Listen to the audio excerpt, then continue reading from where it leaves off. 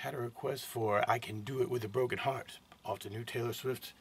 And so we're going to give this uh, chart a run for its money and uh, see how it goes. Here we go. Play along with the recording.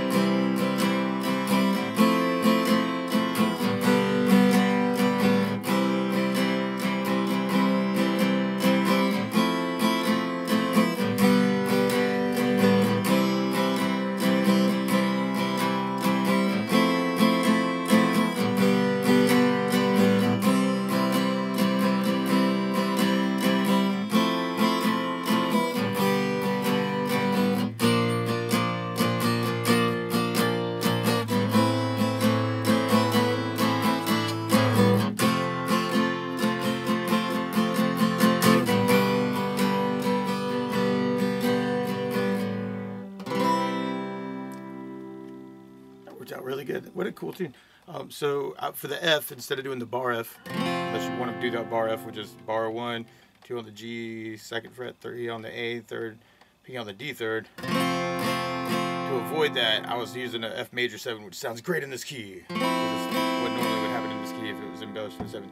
So from the C chord, for instance, you'd be taken to the D string second, and then three to the D string third. So it's like diagonal dude. It's like B string one, G string two, D string third. I'm just keeping it with the open E. You'll see some people do the F that way too, but I was kind of digging on that. And then there's a B flat in here, which normally you do as a double bar. First fret bar, third finger of the D, G, and B on the third fret. Be a B flat major chord.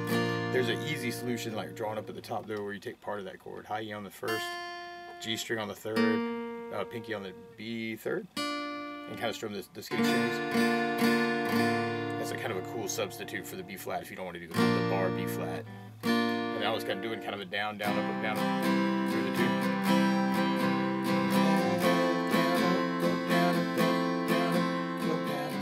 What a cool tune. What a great request.